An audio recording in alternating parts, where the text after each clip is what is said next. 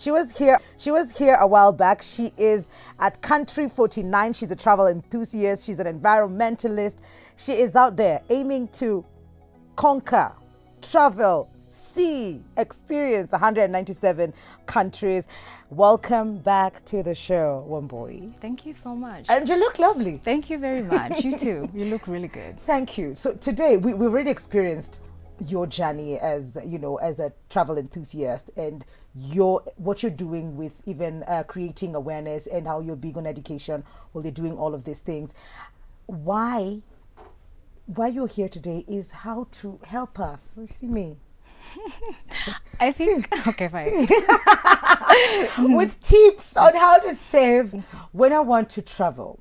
So it looks very beautiful. When the last time you were here, you saw the comments and everything. Oh my God, I want to do that. How easy is that? The questions came in. How is she able to do all of that? So it was important for us to just talk to you how you um, save up, how you plan, and maybe give us a few tips on that. All right. I think uh, that's the question that I get most of the time. Yes. And I understand it. Yeah. Because for me also the recognition of the grand task that it was to travel that much Yes. also gave me a bit of fear because it's not that I'm so rich and I have so much resources. And even with those who have resources, resources are always limited. So I think the biggest factor was to understand okay, how do you section it so that it doesn't look such a daunting task, you know? Okay. Because even the lady that was here just before, she talked about how, and people struggling, the finance aspect comes in as the first thing. That's and in life, it comes up all the time. So there is no goal that will come up where finances will not come up, That right? true. So if you want to build a house, finances come You have to plan for that. yes businesses finance come in too Yeah. so then it's right about deciding okay what is the magnitude of the travel experience that Mm-hmm. you want to experience and so understanding that the why will now get the how Okay. You know, so so- why do you want to do it? That should be the first question I ask myself. Exactly. Mm-hmm. Because if, say, someone wants to, say, uh, travel 20 countries before they are 40, for example, Yes. then that's a different type of planning process from someone who wants to do the whole of 197. Someone who wants to experience just maybe five countries in a year in uh, a space, uh, say, for example, in West Africa, that's a different plan from someone who wants to go and experience Fiji and those kind of countries. The planning process changes depending on what and why and where. Oh, right? wow, okay. So so I think that thinking process is very important. Mm-hmm. And I think the daunting bit of it also with travel is that our mindset looks at travel as luxury. Yes. Right? So it's not true. a basic need. Mm-hmm. And so you can save up for food and shelter and clothing, but then travel, travel looks like something that is so removed Yeah, that when I get like a jackpot, when I win the lottery, maybe I'll just fix it in there. You know what I mean? So it's I not know. something that comes to the and it's if it does, it's not for many people. Exactly. Yeah. Exactly. And I again I understand because say for ex- environment is a big factor of how we our mindset is shaped. For example, someone born in Belgium will not think probably about the same factors because EU has this Schengen countries, Schengen Yes. countries, and therefore, and uh, it's probably only a bus ride away. Yet in Kenya and Tanzania, we also have the East Africa community, which is also Tanzania and Rwanda and Burundi are also just bus rides away. Yes. So it's not as that expensive. The mindset just has to shift so that you can look at travel as accessible to you. When you look also at yourself in the mirror and when you see all these other people that come in Yeah. and they're tourists, you can see yourself also doing that. Mm-hmm. And so I think, first of all, mindset is the biggest thing, and then planning is the other thing. And what I recognize with tips is that I have always seen that research Yeah. will save you the most money if you know what's available because here uh, if someone is coming here and they imagine that um, uber is the only form of transportation That or lyft or whatever it will be very expensive Yeah. yet you can catch a job for 20 bob Yep. or 50 bob or 100 bob and be right on with it right Yeah. so the budgeting around uh, traveling. If someone was coming in maybe from the uk wants to travel into nairobi and kenya and if they don't understand that there are different ways that you can travel around they will imagine um, um, traveling out here to be very expensive, but it doesn't have to be that expensive. Mm. That's true. Again, there are so many options now. It's 2021, things Yes. are different. We have Airbnb, we have different uh, Backpackers. backpackers, we have hostels. This is something I did not know about, by the way. What? That there are hostels that are actually very good and they are way cheaper than anything else. And I remember being in Germany and being a bit stuck with accommodation Mm-hmm. and then realizing there was something called hostels way later. And I was like, did I pay all that much? and I, should, I could have paid this. you know, and I could have paid this and much. you're not there to sleep. You know what I mean? Ex- like I just, I know. You know, that is something that It's people not. need I to will sleep when I come back home, but I just need to lay down and then wake up and continue. So it doesn't have to be very expensive. Exactly. Mm-hmm. And then that is the, the kind of mindset you need to have or cultivate so that it's a trade off between experiences Yeah. Mm. and expenses. What are you there for? If you're a person who wants to go big, you want to experience maybe 16 countries at a go, then you know you have to trade off some luxury for some experiences you know true. Mm-hmm. resources are always going to be limited and there's always something you, c- you can do to live you know and and also with that mindset thing um, it really helps you to view some mishaps and things that are uh, beyond some something that you'd have imagined as experiences and adventure and you learn to enjoy them i'll give you an example Okay.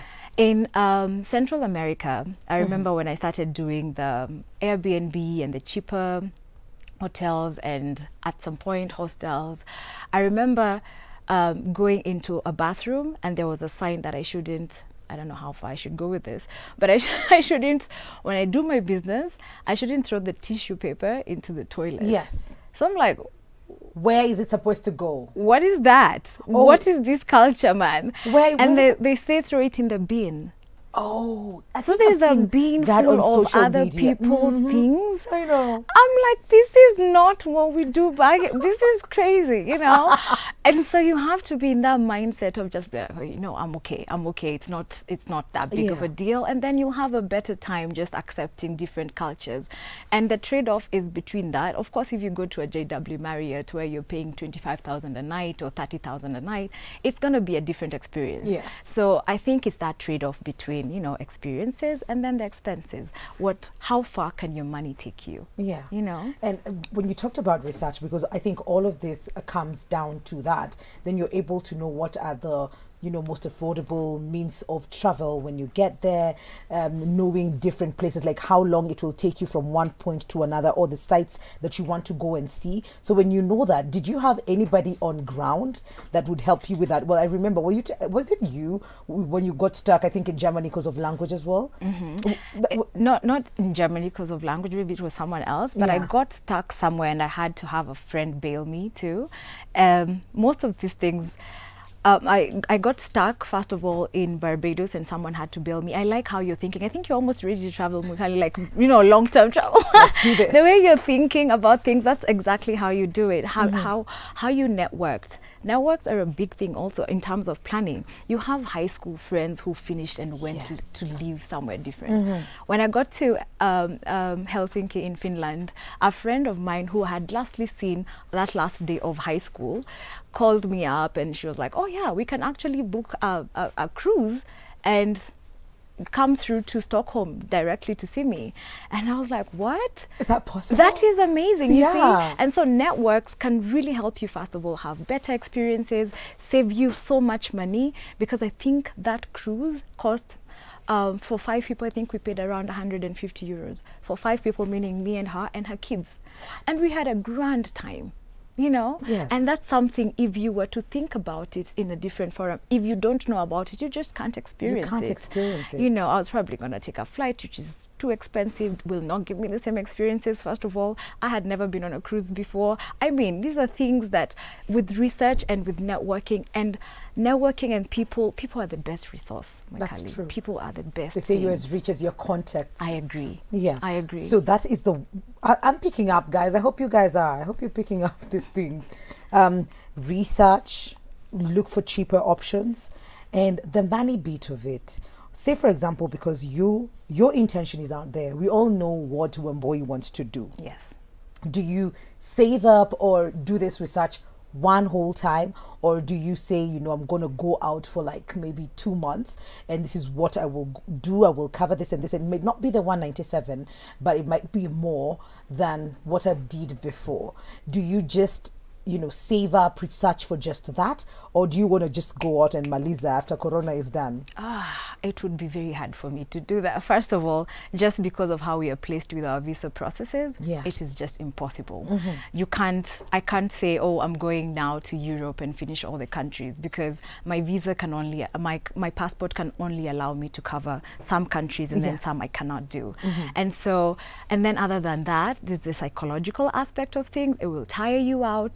Uh, the love languages, I need touch from time to time, you know? I mean, ma'am. You, you, you need to come back home and hug a friend or something. Yes. And so at some point, I feel I can only do maybe three to four months or six Yes. Mm-hmm. months at a go. And then after that, I need to come back home. Okay. And also, it helps with the financial aspect of things to face things out and how I have done it in the past is was now the 49 which feels like a quarter and so i can maybe do another quarter and then come back Okay. and then do another quarter and come back but what i do not give myself pressure with is a timeline i know i can't do this forever but i also would not want to give myself that timeline because stressing myself about it with some things is just going to be a bit hectic Yes, it Yes. will be. It mm-hmm. will be. So, and when you travel, there's also something about, you know, being alone. You need to be able to be your own company. because uh, are people who travel as couples, works perfectly for them. Do you travel alone or do you travel with, you know, a loved one? Oh man, I wish. But oh my See the I god. just say, a loved I one. see. A And then loved for alone you're like alone or a loved one. Come know. on, even for alone should have some vibe to it. There's something there. Okay. Okay, alone? yeah, you know, Okay, yeah, I uh-huh. do alone, and I also I I do alone, and it's it makes sense because I wouldn't want to put the burden of traveling 197 countries to On someone who. else. Who, yeah, if they they might love me, but that might not be their goal. So it's okay if they can join me for one trip, uh, one country here and there. But then I I would not want to load them with that burden, and they have their own life and their own goals like that. And so and I also feel like also with um, that whole mindset thing, you need to be a bit flexible. So um, it helps if you're solo traveling you know? And if say for example you know your mission is to try and do this much by this this time um, if you're with someone who doesn't necessarily necessarily have the same goal Yeah. of course you're going to be stressing them. Yes. and so it just makes sense for this to be a solo type of mission you know? But uh, of course if you know. Mara moja mbili hivi tatu. Next time you come here because i have a feeling you will come here we'll talk about the relationships that you've made along the way. And you know something okay i don't know you're going with this. But i think if you keep coming back here next time you'll find somebody here. I'll be like i went. I am going gone gone gone. Uh, no not, I'm not doing that to you guys. Thank you for coming on boy. How can people get in touch with you with all their questions and you know for you to help them plan their travels i think you do that right Yes, yes. Of course, reaching out to me on Instagram has worked in the past. So Wambui Gichobi on Instagram um, and all social media sites, um, not all, Facebook generally and Instagram, but Instagram is where I am at. DM me. I will respond to all comments. I will respond to all DMs. My mission is to make people feel like travel is accessible to all of them. which you are doing I hope so. Every time you sit there, I feel like I can do it. And then I don't see her for two weeks, then I'm not so sure. then I need to see her again. I agree. I'll be happy to come back. Okay.